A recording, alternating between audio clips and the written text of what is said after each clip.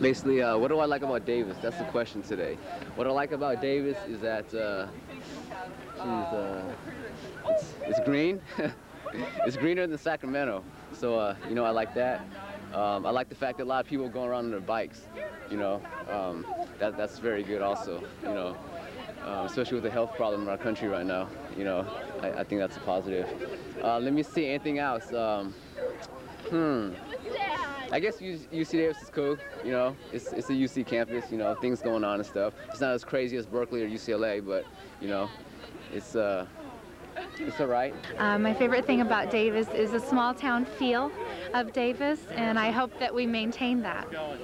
I hope that we maintain that. I can ride my bike, I can take a walk around Davis, I can walk downtown and go to a bookstore, or I can go to the theater. There's not a lot of traffic congestion.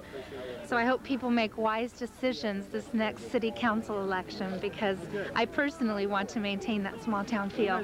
And one of my favorite things about Davis, DCTV. honestly, honestly. Thank you. You're welcome.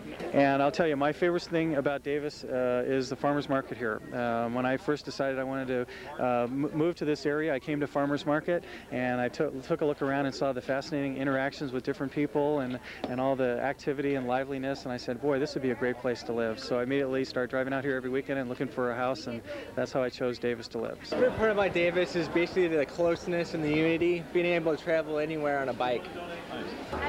Selling the bread.